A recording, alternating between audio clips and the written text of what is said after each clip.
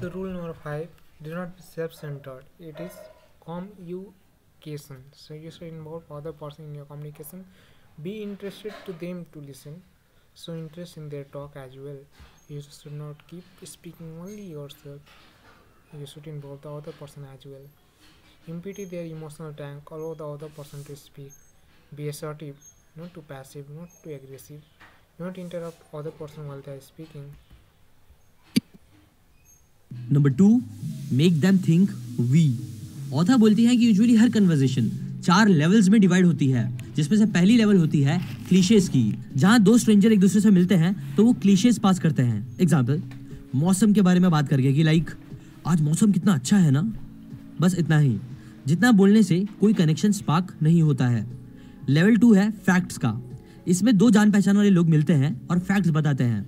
जैसे, तुम्हें पता है राज इस साल पिछले दस सालों से ज़्यादा बारिश हुई है, जो पहले लेवल से थोड़ा बेटर हो सकता है कभी कभी बट इससे भी कोई कनेक्शन पैदा नहीं होता है।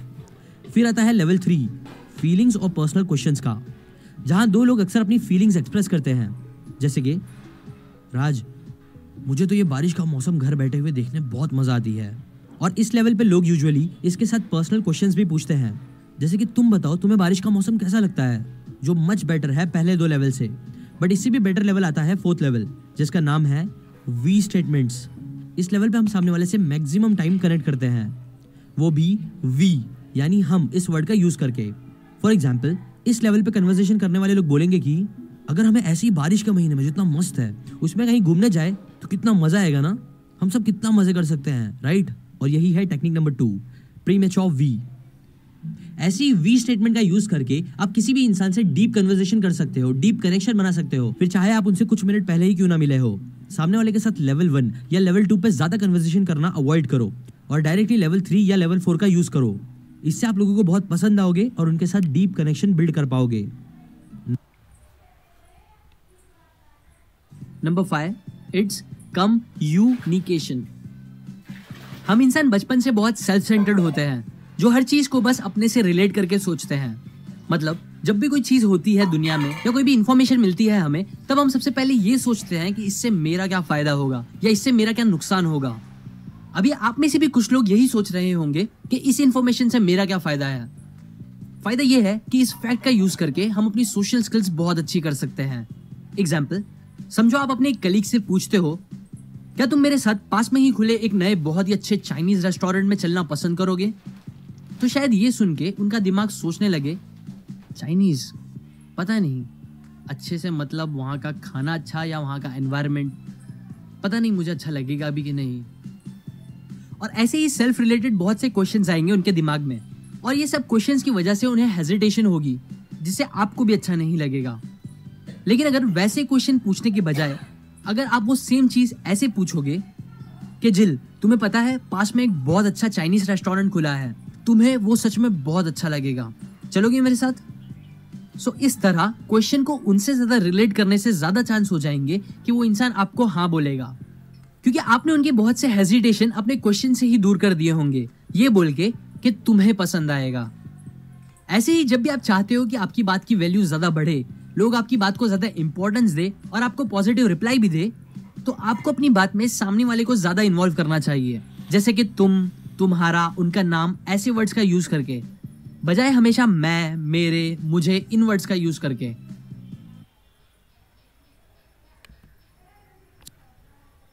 Keep the conversation interesting.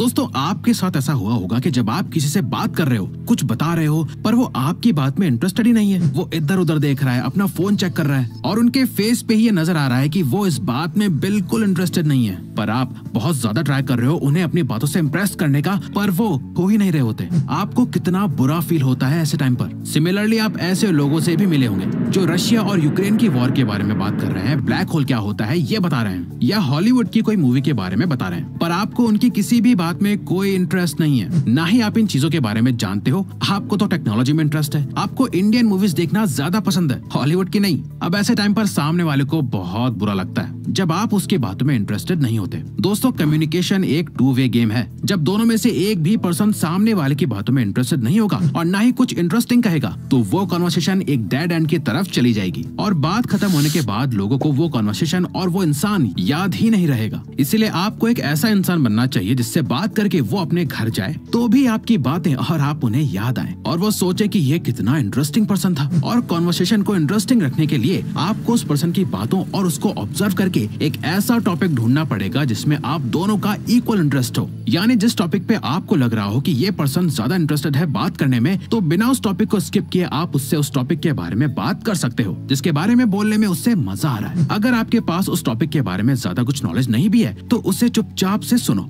और उससे उस टॉपिक से रिलेटेड क्वेश्चन कर सकते हो, ताकि कॉन्वर्सेशन ऑन गोइंग रहे। और कुछ लोग फालतू में सीरियस और गहरी बातें करके सामने वाले पर्सन को दिखाने का ट्राई करते हैं कि वो कितने दिमाग वाले या इंटेलेक्चुअल हैं। सामने वाला उनसे ज्ञान माँगता भी नहीं, फिर भी वो ज्ञान देने लगते हैं एडवाइसेस देने लगते हैं। ये सोच के कि सामने वाला पर्सन ये समझेगा कि आप उनकी मदद कर रहे हैं। जब तक सामने वाला आपकी खुद सामने से एडवाइस ना मांगे, तब तक उसे ज्ञान या एडवाइस देने का ट्राई नहीं करना चाहिए। क्योंकि किसी को भी बोरिंग इंसान पसंद नहीं होता। सबको इंटरेस्टिंग लोग ही ज़्यादा पसंद आते हैं। How to prepare them to listen to you एक रात ऑथर ने एक चोर को किसी गाड़ी में घुसने की कोशिश करते हुए देखा तो उन्होंने ज़ोर ज़ोर से चिल्लाना स्टार्ट कर दिया। तब भागने के बजाय उस चोर ने ऑथर पे ही अटैक कर दिया और उन्हें धक्का दे दिया, जिससे वो एक सीमेंट की चीज़ पे जाके गिर गई। सर के बल गिरने की वजह से उनके सर से खून निकलने लगा। इसके बाद ऑथर धीरे धीरे एक पास वाले हॉस्पिटल में पहुँची, जब वो अपने सर पे आइस पैकेट रखते हुए आराम कर रही थी। तभी एक नर्स उनके पास आई और डायरेक्टली उनसे उनका एड्रेस टेलीफोन सिक्योरिटी नंबर के बारे में पूछना स्टार्ट कर दिया। तब ऑथर को बहुत ज़्यादा गुस्सा आई। ऑथर को ऐसा लग रहा था जैसे वो उनसे डिटेल्स नहीं पूछ रही है, बल्कि वो बोल रही है कि तुम्हारा सर गया भाड़ में। उसके बारे में बाद में बात करेंगे। पहले अपना इंश्योरेंस नंबर बताओ जो मेरे लिए इंपॉर्टेंट है। इसके बाद ऑथर ने यही सेम स्टोरी अपने एक नर्स फ्रेंड को बताई, जो सुनने के बाद उस फ्रेंड ने भी एग्री किया। मेडिकल फॉर्म भरने की ये फॉर्मेलिटी और प्रोटोकॉल काफ़ी गलत लगता है। इसीलिए फिर इससे लड़ने के लिए उस नर्स फ्रेंड ने एक मेथड एक अलग अप्रोच का यूज़ करना स्टार्ट कर दिया है, जिस पे लोग बिना उस पर भड़के, बिना उन्हें बुरा भला बोले, अपनी सारी इन्फॉर्मेशन अच्छे से दे देते हैं। और ये जो मेथड है, वो है इमोशनल टैंक को एम्प्टी करने का। एग्ज़ाम्पल वो नर्स क्या करती थी कि पहले पेशेंट्स को जो भी बातें बोलनी होती थी, उनकी तकलीफ़, उनकी परेशानी, वो सब उन्हें बोलने देती थी अच्छे से। एक बार पेशेंट जब पूरी बात बोल देता था, अपना इमोशनल टैंक खाली कर देता था तो फिर उसके बाद ही वो नर्स कुछ रिक्वेस्ट करती और डिटेल्स मांगती। जिससे तकलीफ़ में होने के बाद भी पेशेंट्स बिना गुस्सा हुए, बिना झगड़ा किए उनकी बात मानते और प्रोटोकॉल्स को फॉलो करते। इसीलिए फोर्थ टेक्निक है एम्प्टी देयर टैंक्स अगर आपको किसी से भी कोई भी इंफॉर्मेशन निकलवानी है तो ये करने के लिए पहले आप सामने वाले को जितना हो सके उतना बोलने दो। जो भी वो बोलना चाहते हैं, उन्हें अच्छे से बोलने दो। पेशेंटली वेट करो। जब तक उनके मन की बातों का टैंक एम्प्टी नहीं हो जाता है। और फिर उनका सब कुछ बोलने के बाद ही अपनी इन्फॉर्मेशन के लिए पूछो।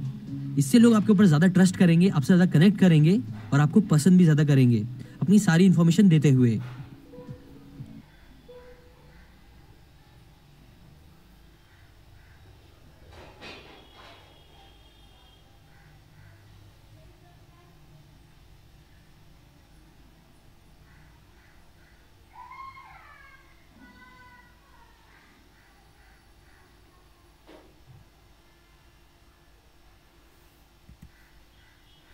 Listen carefully and be a word detective. Threading ये कम्युनिकेशन की सबसे इंपॉर्टेंट स्किल है अगर आपने इसे मास्टर कर लिया तो आपको और सुनाओ, और बताओ जैसे वर्ड्स को यूज़ करना नहीं पड़ेगा। बातें अपने आप ही होती चली जाएँगी। दोस्तों कॉन्वर्सेशनल थ्रेडिंग का मतलब होता है किसी की कही एक बात से दस और बातें निकालना, ताकि कॉन्वर्सेशन का फ्लो अच्छे से बना रहे और बिना ऑफ़ टॉपिक जाए बातें चलती रहे। अब इसे हम एक एग्ज़ाम्पल से समझ सकते हैं। फॉर एग्ज़ाम्पल मान लो, आप कहीं पे किसी पर्सन से मिले, किसी फ़ंक्शन या नॉर्मल गेट टुगेदर में, जिससे आप कॉन्वर्सेशन स्टार्ट करना चाहते हो, लेकिन आपके पास बात करने को कुछ भी नहीं है। तो आप सिंपली उस पर्सन को ऑब्ज़र्व करते हुए एक सर्फेस लेवल कॉन्वर्सेशन स्टार्ट करते हो, ये कहते हुए। हे हाय आप यहाँ अकेले क्यों खड़े हुए हो? बाकी लोगों के साथ एंजॉय क्यों नहीं करते? जिस पे वो भी एक सिंपल रिप्लाई करते हुए कहते हैं, बस आज ऑफ़िस में काफ़ी वक्त था। मैं बहुत थक चुका हूँ, इसीलिए। अब यहाँ आपको क्वेश्चन ही क्वेश्चन नहीं पूछने हैं, बल्कि उनकी बात सुनकर और बात निकालनी है। हाँ आज मैं भी बहुत टायर्ड फील कर रहा हूँ काम से। फिटनेस ट्रेनर जो हूँ। बाय द वे तुम क्या करते हो? मैं टेक फ़ील्ड में हूँ एज ए सॉफ्टवेयर डेवलपर अब हो सकता है कि वो आपसे क्रॉस क्वेश्चन पूछे या ना पूछे। तो आपको अपने बारे में बोलना स्टार्ट नहीं कर देना है, बल्कि उनकी कॉन्वर्सेशन को आगे बढ़ाना है। ओ ये तो काफ़ी इंटरेस्टिंग जॉब लगती है। तुम्हें ये काम करना काफ़ी पसंद होगा ना? अब वो इसका जवाब हाँ या ना में देगा। आप उन्हीं की कही बातों से और बातें निकाल सकते हो। पर ज़्यादातर लोग ये गलती करते हैं कि वो कॉन्वर्सेशन को एक इंटरव्यू मोड में कन्वर्ट कर देते हैं, जो सामने वाले को बहुत अनकंफर्टेबल बना देता है। इसीलिए क्वेश्चन पूछने से पहले एक नॉर्मल स्टेटमेंट दो। उसके बाद अपना क्वेश्चन ऐड करो।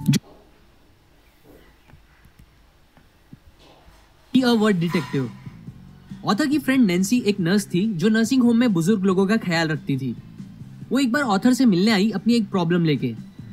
प्रॉब्लम ये थी कि नैन्सी को उन एल्डर्स की केयर करनी थी, उनसे अच्छे से बात करके।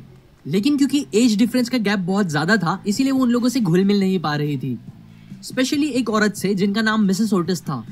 ओटिस थोड़ी खड़ूस टाइप की औरत थी, जो कभी किसी से बात नहीं करती थी। नैन्सी ऑथर को बताती है कि अभी कल ही उन्होंने उनसे बात करने की कोशिश करी थी, ये बोल के। मौसम तो अच्छा ही नहीं हो रहा। बारिश ने एकदम परेशान करके रख दिया है। है ना मिसेस ओटिस तो इस पे उन्होंने मुँह बना के मुझे कहा, बारिश बहुत अच्छी होती है प्लांट्स के लिए. ये सुन के ऑथर ने हँसते हुए नैन्सी से पूछा कि फिर इस पे तुमने क्या रिप्लाई किया?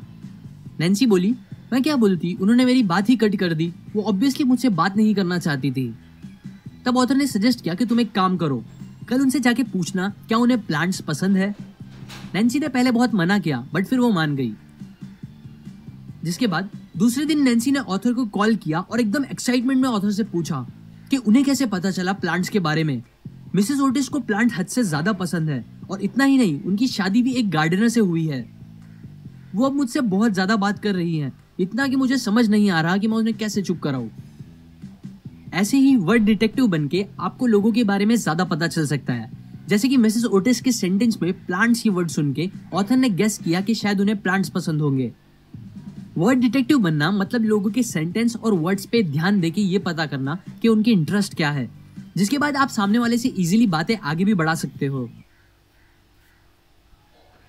टू कॉन्वर्सेशन थ्रेडिंग दोस्तों, क्या आपकी कॉन्वर्सेशन में भी और बताओ और बताओ, और बोलो, और सुनाओ, ये सब चलता रहता है। तो इसका सोल्यूशन है कॉन्वर्सेशन थ्रेडिंग जी हाँ इसको एक एग्ज़ाम्पल के थ्रू समझते हैं। जैसे आपसे किसी ने पूछा कि आप कहाँ से हो? आपने कहा, मैं उदयपुर राजस्थान से हूँ और आप, मैं भीलवाड़ा से हूँ। अच्छा और बताओ, ऐसे पूरी कॉन्वर्सेशन बेकार हो जाती है। आपको ये नहीं करना है। तो आपको क्या करना है? इसकी बजाय आप कुछ ऐसे जवाब दे सकते हो कि, मैं उदयपुर से हूँ बट मैं यहाँ से बाहर किसी दूसरी सिटी में शिफ्ट होना चाहता हूँ। एक ऐसी जगह शिफ्ट होना चाहता हूँ, जहाँ प्रदूषण बिल्कुल कम हो। सिंपल भाषा में कहूँ तो आपको एक वर्ड में आंसर नहीं देना है। आपको क्लोज एंडेड नहीं ओपन एंडेड क्वेश्चन और आंसर करने हैं ताकि सामने वाले को भी उसी आंसर या उसी क्वेश्चन में से और क्वेश्चन फ्रेम करने का मौका मिल जाए। अगर आप बहुत कम जानकारी डिस्क्लोज करोगे तो फिर कॉन्वर्जेशन थ्रेडिंग कैसे होगी? So ask open ended question not close ended जैसे आप क्या सोचते हो? योर ओपिनियन ऐसे क्वेश्चन जिनका जवाब यस yes, नो no में नहीं दिया जा सकता। Number one loss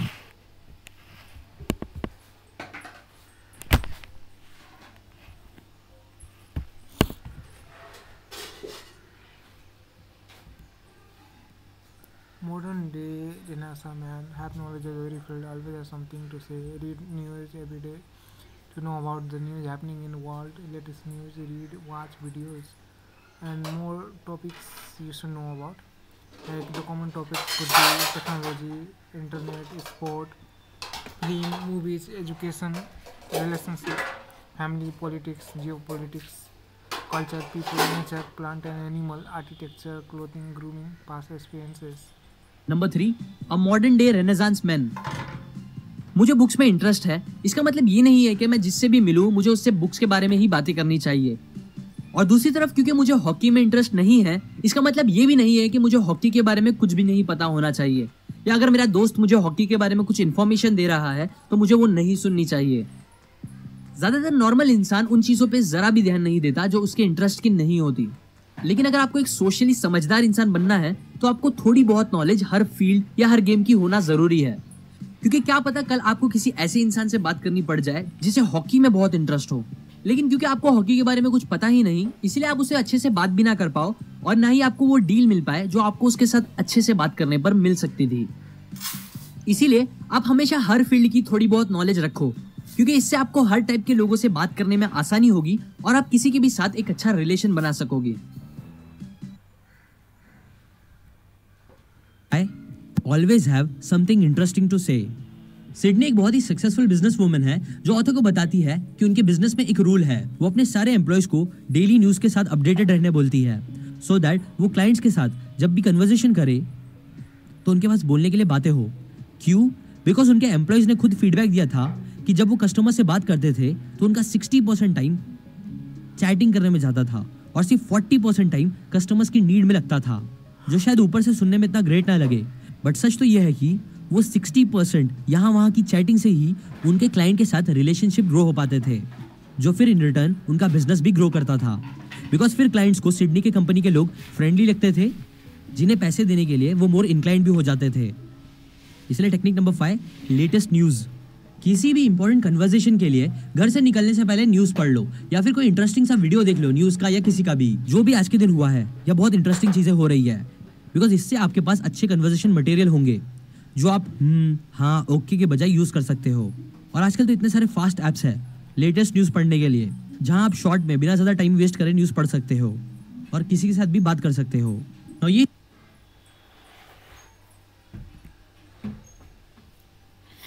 Step 8 is uh, we involve other person in your communication, find a common ground for where you can talk, make them think we, pre-match a we.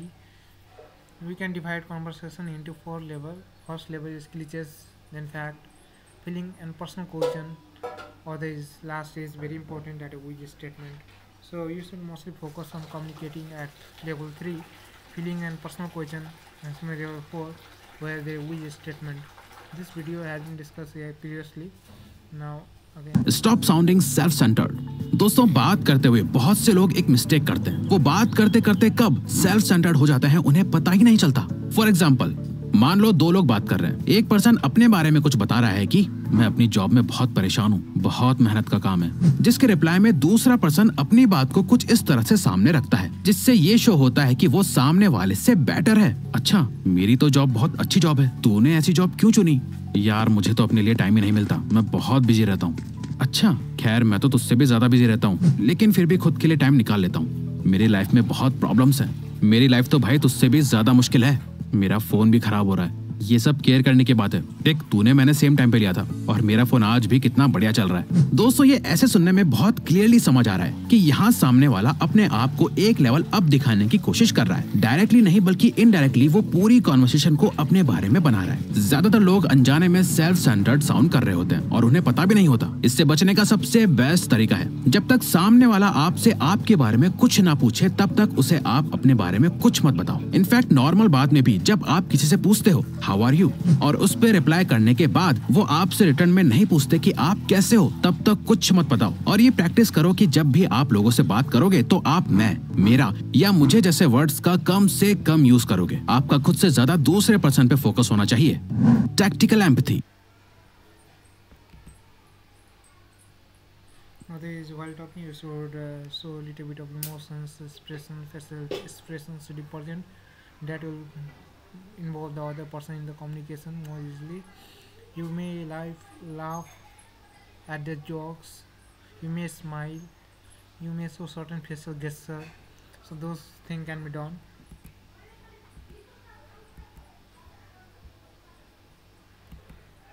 Other Number two. compliments. Complica- compliments have very unique role.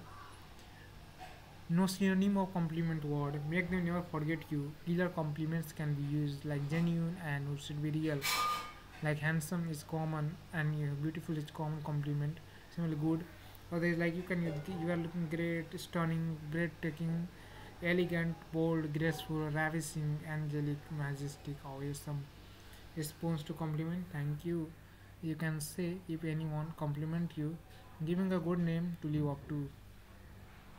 Author Leil के friend Gary एक gentleman थे, जो occasionally author को dinner पे लेके जाते थे। वैसे तो ऑथर उनसे कुछ 12 साल पहले मिली थी बट वो बोलती है कि वो उस मूवमेंट को कभी नहीं भूलेंगी, जब गैरी फ़र्स्ट टाइम डेट के लिए उनके दरवाजे पे आया था, और उनसे कहा था कि लील यू लुक ग्रेट ना ये सिंपल कॉम्प्लीमेंट ऑथर को बहुत पसंद आया था। वो खुश हो गई थी इससे। अब ये होने के कुछ टाइम बाद ऑथर फिर से गैरी से मिली।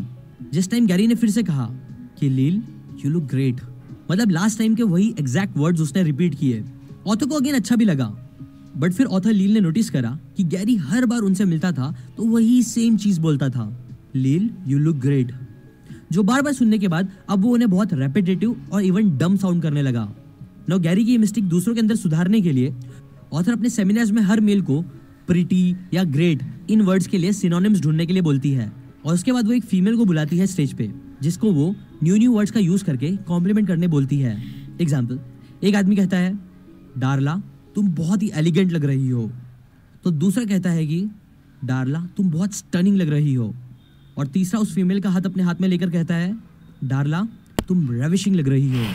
जो अलग अलग रिच वर्ड्स उस लड़की के साथ साथ बाकी ऑडियंस की लड़कियों को भी बहुत अट्रैक्टिव और स्मार्ट लगती थी, जो उन्हें इम्प्रेस करता था। ये तो हो गया ऑथर का एग्ज़ाम्पल ऐसे ही अगर आपने मिस्टर शशि थरूर जी को कभी सुना होगा तो वो आपको याद होंगे उनके ग्रेट वोकेबलरी की वजह से.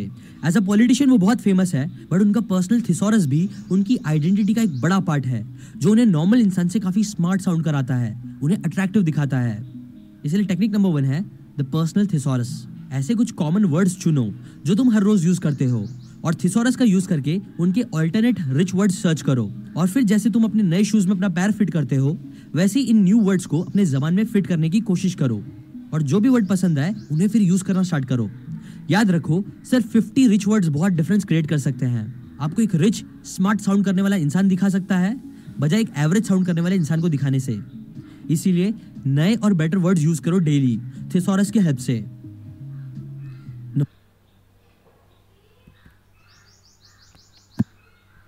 Number two giving a good name to live up to Tom नाम का एक बच्चा था जो थर्ड स्टैंडर्ड से पास होकर फोर्थ स्टैंडर्ड में जाने वाला था। सारी टीचर्स ने कंप्लेंट की थी कि टॉम अपनी क्लास का, यहाँ तक कि अपनी पूरी स्कूल का सबसे मस्तीखोर बच्चा था, जो दिन ब दिन और खराब होते जा रहा था। वो बहुत लड़ाई करता था, बच्चों को चिढ़ाता था और बहुत मस्ती करता था। इसीलिए उनकी जो पुरानी टीचर थी, उन्होंने उस फोर्थ स्टैंडर्ड की टीचर को, जो टॉम को पहली बार पढ़ाने वाली थी, उन्हें काफ़ी ध्यान रखने बोला टॉम पे। उस न्यू टीचर ने इस बात को हल्के में नहीं लिया और फ़ौरन इस बारे में कुछ करने का सोचा। सो जब उन्होंने पहली बार अपनी क्लास लेना स्टार्ट करी, तब उन्होंने क्या किया कि सारे बच्चों को उनका नाम पूछा और उन सबको एक एक कॉम्प्लीमेंट दिया। एग्ज़ाम्पल जैसे कि एक बच्चे का नाम था रोज तो ये सुन के उन्होंने कहा, रोज कितना अच्छा नाम है, तुम्हारी ड्रेस भी बहुत अच्छी लग रही है। और ऐसे ही उन्होंने हर बच्चे को कोई एक कॉम्प्लीमेंट दिया। अब जब टॉम की बारी आई, तब उस टीचर ने थोड़ा सीरियस होकर बोला टॉम मुझे पता है कि तुम एक नेचुरल लीडर हो सो इसीलिए मुझे तुम्हारी मदद चाहिए होगी इस क्लास को एक डिसिप्लिन और अच्छी क्लास बनाने के लिए। क्या तुम मेरी मदद करोगे? टॉम ने सरप्राइज़ होके कहा यस मैम इसके बाद उस टीचर ने कुछ दिन तक टॉम को उसके हर छोटे से छोटे अच्छे एक्शंस और काम के लिए उसकी तारीफ़ करने लगी और उसे हमेशा ये भी याद दिलाती रही कि वो कितना अच्छा स्टूडेंट है। बस फिर होना क्या था? उस टीचर के ये भरोसे को उस नौ साल के बच्चे ने कभी टूटने नहीं दिया और साल के खत्म होने से पहले पहले तक वो एकदम अलग और अच्छा बच्चा बन गया। जैसी रेपुटेशन लोग बोल बोल के एक इंसान की बना देते हैं बहुत ज़्यादा चांस हो जाता है कि फिर वो इंसान उसी रेपुटेशन के हिसाब से बन के अपनी ज़िंदगी बिताने लगता है। मतलब अगर आप एक बच्चे को हमेशा ये बोलोगे कि तू कितना नालायक है मस्ती खोर है, तू कभी नहीं सुधर सकता तो गेस वॉट हाँ वो नहीं सुधरेगा और वैसे ही रहेगा। लेकिन, अगर आप उसका एक अच्छा पॉइंट पकड़ के ये बोलोगे कि तू कितना अच्छा बच्चा है, तू लोगों की रिस्पेक्ट करता है, अच्छे काम करता है एक्सेट्रा एक्सेट्रा तो फिर बहुत ज़्यादा चांस है कि वो ये बातें सुनते सुनते वैसे ही अच्छी चीज़ें और करने लगेगा। आपसे ज़्यादा प्यार भी करेगा और एक अच्छा इंसान भी बन जाएगा। इसीलिए आप किसी को भी बार बार वो चीज़ बोल के क्रिटिसाइज या बुरा मत बोलो, जैसा आप उन्हें नहीं बनाना चाहते हो। बल्कि उसे वो बोल के हमेशा तारीफ़ करते रहो, जैसा आप उन्हें बनाना चाहते हो। क्योंकि बहुत से लोग अपनी रेपुटेशन के हिसाब से अपनी पूरी ज़िंदगी बिता देते हैं, और ये बहुत पावरफुल प्रिंसिपल है। इसलिए इसे कभी मत भूलना। Number three make them never forget you एक रात औथा की रूममेट क्रिस्टीन और औथा खुद एक हॉलीडे पार्टी से वापस घर पे आई। जैसे जैसे वो लोग अपने कोट्स निकाल रहे थे ऑथर ने अपने फ्रेंड के चेहरे पे एक सिल्ली सी स्माइल देखी। ऑथर ने पूछा, क्रिस्टीन, क्या तुम ठीक हो? हाँ यस वो खुश होकर बोली। और फिर उसने कहा कि एक्चुअली वो एक आदमी के साथ डेट पे जाने वाली है। ऑथर ने पूछा, आदमी? कौन सा आदमी? तो क्रिस्टीन ने बताया कि, तुम्हें मालूम नहीं, वही आदमी जिसने कहा कि मेरे दांत बहुत ब्यूटीफुल है, जैसे मेरी स्माइल ब्यूटीफुल लगती है। ऑथर ने सोचा कि क्या दांत? ना उस रात ऑथर जब बाथरूम के पास से जा रही थी तब उन्होंने क्रिस्टीन को देखा, जो मिरर में देख के बहुत स्माइल कर रही थी और अपने हर दांत को अच्छे से ब्रश कर रही थी और उन्हें निहार रही थी। तब ये देख के ऑथर ने रियलाइज़ किया कि जिस भी आदमी ने क्रिस्टीन से उनके दांतों के बारे में कहा था, उसने क्रिस्टीन पर एक किलर इम्प्रेशन बना लिया था और तभी ऑथर ने किलर कॉम्प्लीमेंट के कॉन्सेप्ट को इन्वेंट किया। Technique number three killer compliments जब भी आप एक ऐसे स्ट्रेंजर से बात कर रहे हो, जिसे आपको अपने प्रोफेशनल या पर्सनल लाइफ का एक पार्ट बनाना है तो उनकी एक अट्रैक्टिव और यूनिक क्वालिटी को ढूंढो और अपनी कन्वर्सेशन को एंड करते टाइम उनकी आँखों में देखो, उनका नाम लो और फिर पूरे मन के साथ अपना किलर कॉम्प्लीमेंट दो। इससे आपकी लाइकेबिलिटी बढ़ेगी और वो आपको याद करेंगे फिर। बट ये काम करने के लिए याद रखो, आपकी किलर कॉम्प्लीमेंट रियल और जेनवन होनी चाहिए, वरना ये चीज़ काम नहीं करेगी।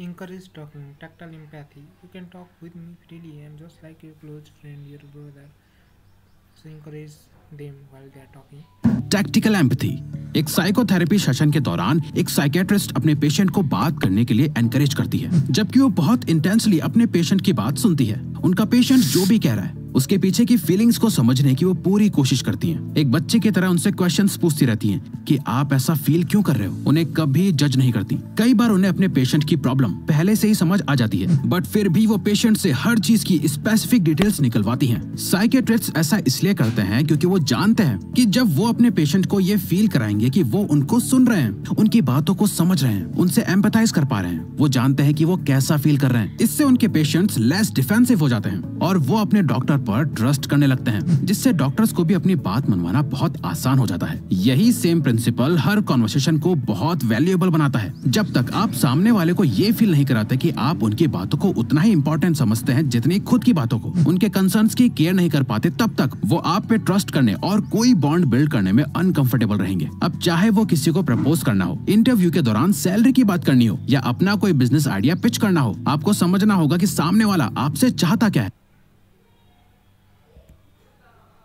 Okay, parroting, mirroring words. Repeat the last word said by the another person to continue communication. If you have don't you don't have anything to speak, then you can co- continue the communication through this technique that is parroting. Technique number twenty parroting parrot एक बहुत ही beautiful bird है जो हमारा दिल easily जीत लेता है और वो भी बस हमारे कहे गए कुछ वर्ड्स को रिपीट करके किसी से बात करते टाइम अगर आपको आगे क्या बोलना है ये नहीं समझ आ रहा और आप चाहते हो आपकी बातें आगे बढ़ती रहे तो आप ये टेक्निक यूज़ कर सकते हो, जिसे कहते हैं पैरेटिंग इसमें आपको और कुछ नहीं, बस सामने वाले इंसान के कहे गए लास्ट के कुछ वर्ड्स को रिपीट करना होगा। और आपकी बात आगे होती रहेगी. एग्ज़ाम्पल एक आदमी अपने घर जा रहा था, तभी रास्ते में उसे एक दोस्त मिल गया। ये उसका इतना अच्छा दोस्त नहीं था, और उसे उस दोस्त से ज़्यादा बात करने जमता भी नहीं था। यूजुअली वो उसे अवॉइड करता था, ताकि बात करनी ना पड़े। पर क्योंकि उसने हाल ही में ये टेक्निक सीखी थी, जो उसे ट्राई भी करनी थी, इसीलिए उसने उससे बात करना स्टार्ट की। फ्रेंड ने उसे बताया कि वो एक शो अटेंड करके आ रहा है। तो उसने रिप्लाई किया, शो। फ्रेंड बोला हाँ यू नो बहुत मज़ा आया। बड़े बड़े सिंगर्स आए थे। तो उसने कहा बड़े बड़े सिंगर्स फ्रेंड बोला हाँ रे, ये आया था, वो आया था, शान, राहत के के और बहुत से लोग। तो उसने कहा के के हाँ क्या गाना गाया उसने? Blah blah blah. और फिर इसी तरह बस पैरेटिंग करके उसने बहुत टाइम तक उससे बात करी। जितनी पहले उसने कभी नहीं की थी। और वो भी बिना कुछ खुद से बोले। अब इसका रिज़ल्ट ये निकला कि उसका दोस्त उसे एंड में बोल के गया कि उसे बहुत अच्छा लगा उससे बात करके। ऐसा हुआ बिकॉज़ बहुत से लोगों को कन्वर्सेशन कंटिन्यू रखने के लिए बस एक रिप्लाई की नीड होती है। और बहुत बार वो रिप्लाई का कुछ ओरिजिनल या खुद का सोच के बोलना भी ज़रूरी नहीं होता। इसीलिए पैरेटिंग एक सिंपल सा ऑप्शन है जो ये नीड को पूरा कर सकता है और आपकी कन्वर्सेशन को कंटिन्यू रख सकता है। ये कुछ techniques Now others.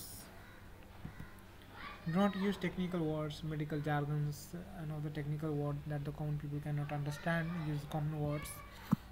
Avoid bloopers, small blunders.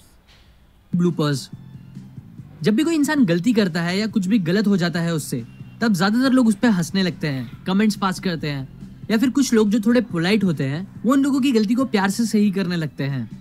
लेकिन ऐसे टाइम पे जो एक्सपर्ट कम्युनिकेटर्स होते हैं, वो इन सबसे बेटर ऑप्शंस लेते हैं, जो है इग्नोर करने का ऑप्शन एग्ज़ाम्पल एक बार ऑथर कुछ बड़ी कंपनीज़ के सी के साथ एक रेस्टोरेंट में बैठ के डिस्कशन कर रहे थे।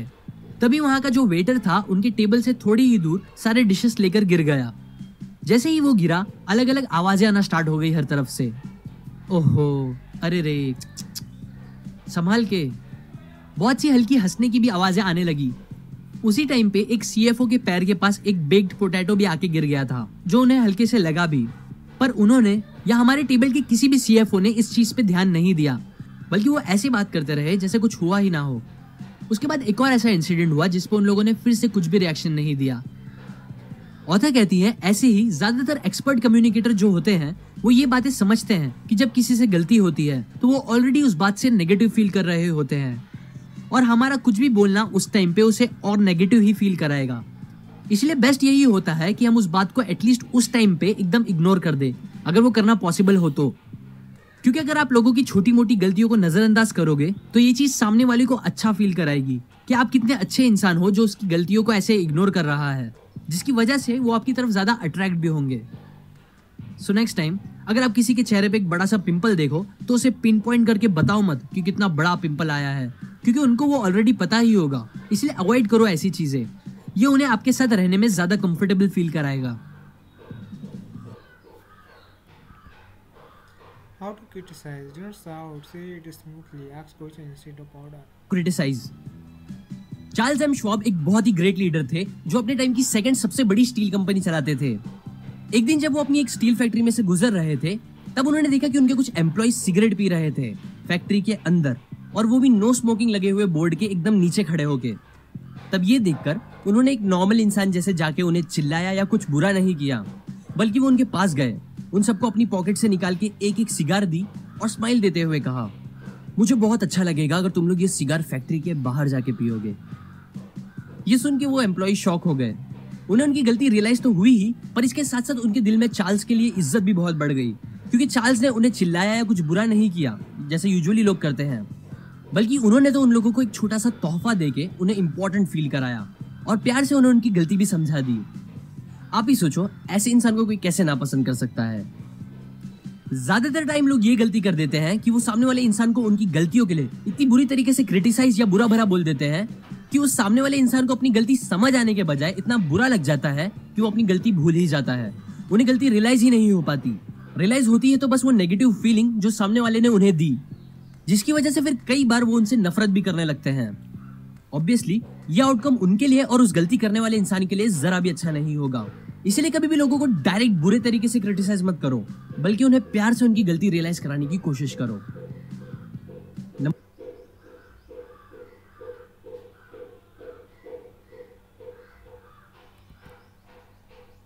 So finally, thank you.